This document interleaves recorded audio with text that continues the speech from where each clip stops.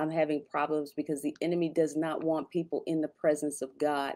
And yesterday I was talking about why it's important to draw near to God. And I shared my testimony of the things that I went through and how I started walking and living like a carnal Christian simply because I did not pick up the habit of consistently walking with God every in my every single day.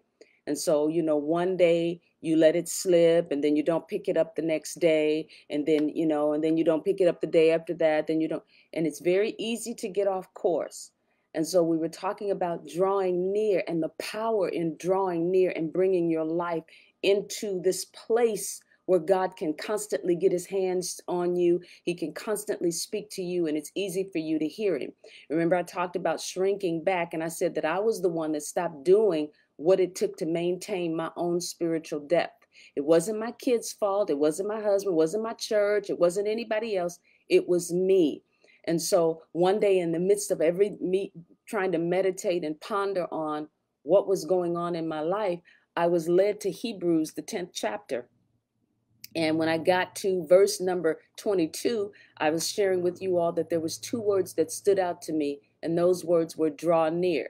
You know, and so with all the words that I found in the book of Hebrews chapter 10, it was only those two words that really changed the course of my life. Draw near. And so when the Bible quoted those words, you know, it's I shared with you all that it was like a king telling somebody pointing a scepter at someone saying, Come approach my throne, come near my throne. And I want to read Hebrews chapter 10, verses 19 through 22 to you all, because I think it's important for you to see. And this is Hebrews chapter 10, verse 19 and 22. He said, Therefore, brothers and sisters, since we have confidence to enter the most holy faith, we've got that confidence by the blood of Jesus, by a new and a living way open for us through the curtain that is his body so the body of Jesus Christ prepared a way for us to go before the throne of God. And as we make the decision to go before the throne of God, you never have to worry about being rejected because you're going through the body of Jesus Christ. Now, if you walk in there in and of yourself, you can't get in there in and of yourself. Remember, Jesus said, I'm the way, I'm the truth. I'm the light. And no man can come to the Father except they do it through me. And so, Jesus, when we go to the throne in prayer, we are going through Christ. And so, that song, when he sees me, he sees his righteousness, is, is very, very true. Because when he sees you, he sees his son. And so you always want to understand that you are in Christ. And because you're in Christ, that's what gives you the right to stand before the Father. And so then in verse 22, he said, And since we have a great and high priest, he's our high priest, Jesus is. He said in verse 22, Since we have this high priest over the house of God, let us draw near to God with a sincere heart and with full assurance that faith brings having our hearts sprinkled to cleanse us from a guilty conscience and having our bodies washed with pure water. Why are those things important for him to say? It's important for him to, to let you know that when you approach the throne of God, when you draw near with a sincere heart and with full assurance that brings faith, your heart is sprinkled because of the blood of Jesus Christ. And so you can come into the presence of God guiltless, free of a guilty conscience, and knowing that your body has been washed with pure water. And how is it done? Through the blood of Jesus Christ. And so there's nothing hindering you or stopping you. I don't care what you've done. When you make up in your mind that you're going to approach the throne of God, you can do it freely. You can do it boldly because Jesus Christ has prepared the way for you to do that. And so when I read this passage, something in my heart shifted. It was as if God was uh, uh, stepping through the pages, if you will, of Hebrews chapter 10, verse number 22, saying to me, Melv, if you don't like where you are, all you got to do is come back to me. Just draw near, and I'll sprinkle your heart, and I'll clean everything that's contaminated, everything that's pulling you away from me. You just get yourself to me. And I love that because it's a simultaneous work. I don't have to go before the throne of God cleaning myself. I don't have to do that. I don't have to say, oh, you know, how there's sometimes, you know, when you know you get dirt on you and you don't want to go in the house before You get the dirt off you, you stumping your feet, doing all that you can to rid yourself of anything that may be contaminated before you walk in the house. You know, let's say if the carpet is clean or whatever, you want to take everything that's dirty off. And God is saying, No, come on in just like you are, because I will cleanse you. It'll kind of be like you take your car through a car wash you don't you don't do anything but go through. You sit down you get in the car you put the car in neutral and you go through the car wash and what happens? The car wash cleanses you. That's the way it is in our position with God and with Jesus Christ. Jesus cleanses us and he equips us to be able to go before the throne of God so I don't have to clean myself up before I get to him. I get to him and he does the cleansing. And so in that moment I made the decision to get back into my place of intimacy with the Father. And then from then on, do everything that I could do to protect it. And so from that day on, it seemed that everywhere I went, God was helping me, drawing me, and giving me these little nuggets that kept me coming into his presence. You know, when I shared with you all about the Western Wall, that was a huge nugget for me to say, just keep coming, just keep coming into my presence, knowing that God is doing a work in me. And so, because my mind was transformed after reading Hebrews, the 22nd, uh, chapter 10, verse 22, this is why the word is so critical. Because it was the word that gave me another way of thinking. And had the word not given me another way of thinking, I would have gotten under condemnation because I wasn't in my heart where I knew I desired to be or where I wanted to be. And so, what was happening? My mind was transformed after reading Hebrews chapter 10, verse 22, and my heart had turned in God's direction. I became hungry again for everything that God had. I became hungry for God Himself, hungry to hear His voice, hungry to know Him, hungry to experience His love and His presence in my life. And I know that that's where many of you are. That's why you started coming on Fresh Baked Manna Live. That's why you started joining me at the 6 a.m. prayer line. Why? Because you're hungry for the things of God in your life. And so my life wanted to live. My heart wanted to live, and it still does, perpetually in the presence of God. That's where I just I, I, thrive in the presence of God. You know, you get some people that thrive in certain environments. Athletes, they thrive when there's a big crowd around them and whatnot. I thrive in the presence of God. And I shared with you all that, you know, because of that, I would go around praying people and I would get whoever was praying, I wanted to be near them because what it did is it continually created a hunger in my heart to seek God, to go after Him. Do I live my life from day to day? Yes, I live my life from day to day, but I live my life conscious of God's presence on me. You know, I thought about Smith Wigglesworth. He was a powerful man of God. He had four documented cases of people being raised from the dead in his ministry. And one of the things that he said is he said, I would rather have the presence of God on my life for five minutes than to have the world with a fence around it. Something to that effect. I would rather have the presence of God on my life for five minutes than to have the world with the fence around it. Me too. But it takes discipline and you have to be committed to it. Now, His presence is with us, His presence is on us, and it will be on us eternally because God said He would never leave us or forsake us. But I'm talking about living conscious of God's presence and then keeping your life in a place where you're consistently sensitive to the way that, to where God is and to who God is in your life. And so if we go back to Hebrews chapter 10 and we look at verse number 38, we'll see that not everybody runs to the presence of God. Some people pull away from the presence of God for different reasons. One, because they feel like, you know, the world has more to offer them because they haven't got a revelation of, of who God is, how good He is, and the things that He offers.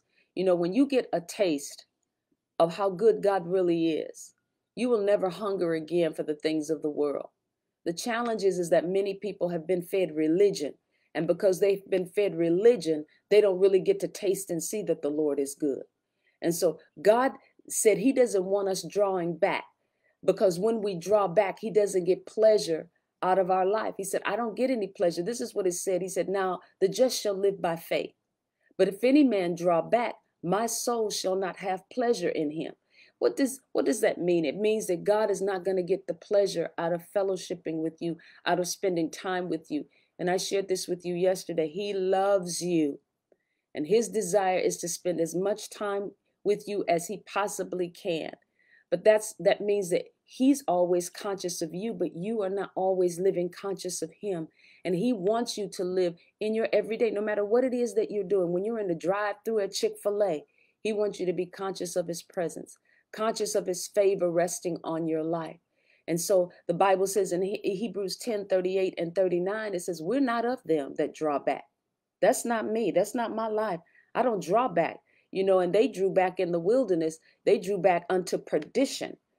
And then it says, But of them that believe to the saving of the soul. We don't draw back, we draw near. We go into God. We march into Him. We're not allowing lifestyles, uh, mess ups, and habits, and problems and challenges. I don't let them keep me out of the presence of God. And again, I said this to you yesterday. That may be the difference between you and somebody else. That I realize the grace of God is made manifest in my life. And because I'm conscious of, I'm very conscious of the righteousness that I am and the grace of God that sits on my life. And because I live with that consciousness, even when I make a mistake, I will not let that mistake make me.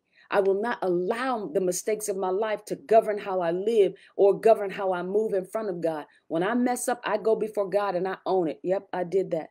And I'm sorry that I did that. I shouldn't have done that. So, what I'm asking you to do, Father, is give me a greater consciousness of your word. Give me a greater consciousness of your presence so that when I'm tempted to do things that are out of alignment with your will, I will lean more to doing the things that are in alignment with your will. And so, grace is there. Grace is there to walk with you. Grace is there to protect you. Grace is there to love you and to show you where God's heart is when you've made a mistake. Jesus has dealt with your mistakes. You don't have to deal with them. Jesus has already dealt with them. And so, Paul, who is believed to be the writer of the book of Hebrews, said two things. He said that we're to live by faith, and he said that God takes no pleasure in the one who shrinks back. What this means is that when we're walking with God, doing our best to cultivate his presence, there's going to be times when your faith is going to be tested because you're going to have to do this by faith. You're going to have to draw near by faith when you've made a mistake. You're going to have to believe that you have access consistently 24 hours a day, seven days a week to the presence of God, and that you have a right to approach the throne of God, even when you don't feel like you do. When the enemy comes to your mind, and he's done this to all of us, when he's come to your mind to convince you that you don't have a right to stand before the throne of God, it is a lie. No matter what you've done, it is a lie to believe that you don't have a right to approach the throne of God. That's why when people tell sinners, God don't hear your prayers, that's not true. Now, that may have been true under the old covenant, but it is not true under the new covenant. If it was the truth under the new covenant, sinners would never be able to come into relationship with God. He does hear the cry of the sinner and he will move on behalf of a sinner because the Bible says that his his his mercy hovers over all of us. His grace is there for anybody that will tap into it. That's the beauty of grace. That's the beauty of, of the cross and everything that Jesus did to die and, and, and save us is that when we mess up, we can make up, but we don't have to give up. And so living in the presence of God is done independent of your feelings, it's independent of your emotions, and it's totally dependent upon your faith. You cannot walk with God and depend on anything exterior to confirm or deny his power or his presence in your life. You cannot do it. And so, in times when you don't feel like God hears you or that He's with you by faith, you have to know that He does love you, that He does hear you, and that He is with you. And this comes by spending time meditating on the Word of God, transforming your thought life so that you're always thinking the way that God thinks. When times of discouragement or times of disappointment come, you know, a mind that hasn't been transformed to the Word of God is going to draw back instead of drawing near. And so God gave us a lot of tools, and all of those tools are designed to keep you spiritually strong. And so, you know, we need to focus on your prayer life, your word life, your love life, and your worship life. Those four things will keep you in the presence of God. And, you know, those are the four things that I'm always paying attention to in my life. My prayer life, where am I? How am I praying? Am I constantly talking to God? And I'm going to tell you, I I talk to God all the time. It is just a lifestyle that I have adapted. And even when I'm not getting on my knees, I'm constantly talking to God. When I'm washing dishes, I'm talking to God. And I'm in the shop, I'm talking to God constantly. And you know what? Even when I'm making mistakes, in the midst of me making mistakes, I'm talking to God because I've trained myself to perpetually be conscious of God's presence. My worship life, I'm always listening to something that keeps me thinking up and drawing my heart and my life up. That's what you need. You need to constantly be drawing your life up where you're thinking about the Father, worshiping Him, you know. And I'm not talking about songs that are filled with religion. I'm coming up on the rough side of the mountain. No, that's not what I'm talking about. I'm not talking about uh, uh, songs where I sing to you and you sing to me, those songs that are, are horizontal versus them being vertical. I'm talking about singing songs that magnify who God is and that keep the reality of who He is in your mind and in your soul. Songs that have you honoring God for what He's done in your life, for being the creator of all heaven and earth. You know, I'm talking about songs that make Him big in your life, bigger than your circumstances, bigger than what's going on around you, bigger than how you're currently living. That's what I'm talking about. Songs of worship that adore Him you know, and then your love life. You got to keep your eyes on your love life because your love life is your God life. And, and you know, the Bible says we know that God and love, they're synonymous. They're wet and water. You cannot separate love and God. They're one and the same. You know, we joke about it, but we say you don't go into a restaurant and say, give me a glass of water and hold the wet. No, you understand that when you get the water, wet is coming with the water. Well, when you get God, love is coming with God. And when you get God, when you get love, uh, God is coming with love. That's the way it is. And you cannot ever separate the two because the Bible says God is love. And so when you're cultivating your love life, when you have opportunities to walk in strife, bitterness, and offense, and instead you choose the way of love, you have chosen God Himself. That's so important for you all to know that when somebody hurts you, somebody make you mad, when instead of being in strife or using your words to speak against that person, you go to the Father and you talk to the Father and you ask the Father for how would you do this? How would you handle this? And then he shows you how he would handle it. And then you walk out that way. What you've done is you've just stepped yourself, your life up a notch. You've attended to higher things, and God's grace is going to be made manifest in your life. And then He's going to be the one. You empower God to be the one to give vengeance for you. You don't have to seek after the vengeance. God is going to do what He needs to do. And I want to share this because one day I was talking to the Lord about that scripture that says that uh, we would heap coals when somebody offends a believer, that you heap coals on their head if they offend you. I used to think that that scripture meant that God was going to burn them up, that he was going to beat them up, that he was going to do something bad or something bad was going to happen in their life. But as I continued to study that out, the Lord said to me, That is not what I'm saying, because I want them to be whole just like I want you to be whole. And so when you've been offended by somebody, what I will do, heaping coals means that I'm going to burn such a consciousness in their minds of, of how they have stepped out of my love that something in their heart is going to shift and turn in your direction. That's what it means. It means that when they go to bed at night, they're going to be thinking about how they offended you. Even if they don't come to you, it does not mean that God is not dealing with them. And this is especially true for other believers that they go to bed and your, their minds will be shifting towards you. You know, and there are times when I didn't realize that I wounded somebody, and God, He's heaping coals on my head. What is He doing? He's giving me a consciousness of what I did and what I said. And then what will I do? I'll pick up that phone and say, I didn't do something right. I didn't do this right.